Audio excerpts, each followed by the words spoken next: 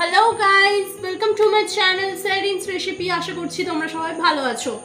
তো আজ আমি তোমাদের দেখাবো এগ চাউমিন।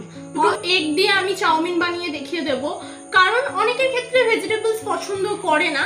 তো আমি আমার চ্যানেলে যেটা দেখাই, যে অল্প উপকরণ দিয়ে তৈরি সমস্ত রেসিপি তো অবভিয়াসলি এটাও আমি অল্প উপকরণ দিয়ে অনলি দুটো ডিম দিয়ে আর একটা সেদ্ধ আলু দিয়ে তোমাদেরকে দেখিয়ে দেবো চাউমিন, কত টেস্ট হয়েছে। তো নিয়ে নিচ্ছি ছ প্যাকেট চাউমিন, ম্যাগি মশলা, দুটো ডিম, সয়া সস, পেঁয়াজ কুচি, লঙ্কা।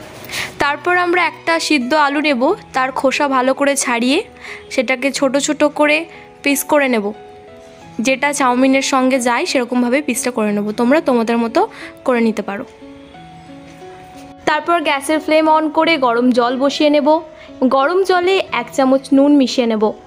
নুন মেশানোর পর আমরা জলটাকে ঢেকে নেব ফোটানোর জন্য। হচ্ছে অন্যদিকে আমরা দুটো ডিম ফাটিয়ে নেব।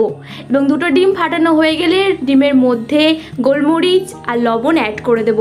এবং সেটাকে ভালো করে ফাটিয়ে নেওয়ার পর কড়াইয়ে দু চামচ তেল দেব। তেল একটু গরম হয়ে গেলেই ডিমটা দিয়ে দেবো এবং নাড়তে নাড়তে সেটা রেডি হয়ে যাবে। তো ডিম ভাজি হয়ে গেছে। এরপর ফুটন্ত গরম জলে ছ প্যাকেট চাউমিন দিয়ে দেবো এবং সেটা সেদ্ধ হওয়ার জন্য ওয়েট করব। সেদ্ধ হয়ে যাওয়ার পর আমরা একটা ঝাঁঝির মধ্যে ঢেলে নেব ঠান্ডা করার জন্য। সাইডে ওই ডিমের কড়াইতে তেল গরম করতে দেবো। তেল গরম হয়ে গেলে পেঁয়াজ কুচি অ্যাড করে দেবো এবং তারপর হালকা নেড়ে নেওয়ার পর আমরা লঙ্কা কুচি অ্যাড করে দেবো। যখন পেঁয়াজের বাদামি কালার চলে আসবে, সেটার মধ্যে সেদ্ধ করা আলু অ্যাড করে দেবো। এরপর ভালো করে নাড়াচাড়া করার পর নুন অ্যাড করে দেবো। তারপর দিয়ে দেবো সয়া সস এক চামচ। তারপর সেটা ভালো করে রেডি হওয়ার পর সেদ্ধ করা চাউমিনটা তার মধ্যে দিয়ে দেবো। সেদ্ধ করা চাউমিনটা ভালো করে মিক্সড করার পর আমরা একটা স্পেশাল সস বানিয়ে নেব। সেটাতে সোয়া সস দু চামচ, তার মধ্যে চিনি অ্যাড করে নেব এবং অ্যাড করব নুন। সেটা চাউমিনের মধ্যে মিক্সড করে দেব। এটাতে খুব ভালো কালার আসে, তোমরা এটা ইউজ করতে পারো। তার মধ্যে দিয়ে দেবো ম্যাগি মশলা। এক প্যাকেট পুরোটাই ম্যাগি মশলা ইউজ করছি, যেহেতু ছ প্যাকেট চাউমিন ছিল। আর অ্যাড করব গোলমরিচ। তারপরে আমরা মিক্সড করে নেব খুব ভালো করে। মিক্স করার পর তার মধ্যে ভেজে রাখা ডিম, সেটা আমরা অ্যাড করে দেবো ওপর থেকে। তারপরে হালকা নাড়িয়ে চাউমিনটা রেডি হয়ে আসবে। তারপর যেহেতু আমি এটা বাচ্চার জন্য সার্ভ করছি, তো খুব ভালোভাবে একটা স্মাইলি ফেস দিয়ে সার্ভ করে নিয়েছি। দেখতেই পাচ্ছ খুব সুন্দর কালার এসে তোমরা দেখতেই পেলে কীভাবে অল্প উপকরণে তোমাদের সামনে এগ চাউমিন প্রেজেন্ট করলাম। এর মধ্যে কোনো রকম হার্মফুল কোনো প্রোডাক্ট আমি ইউজ করিনি, তোমরা দেখতেই পেয়েছ।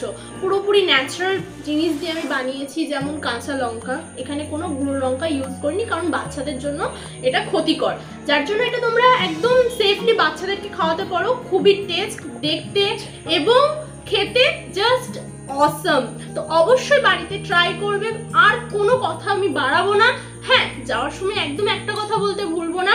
যারা আমার চ্যানেলে নতুন আছো, তারা সাবস্ক্রাইব করে দেবে এবং পাশে যে বেল আইকনটা আছে, ওটা অল নোটিফিকেশন করে দেবে যাতে আমার নতুন রেসিপি যখনই আমি দেব, তো তোমরা নোটিফিকেশন পেয়ে যাবে।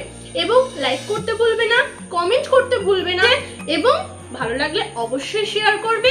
সুস্থ থেকো, ভালো থেকো লাভ ইউ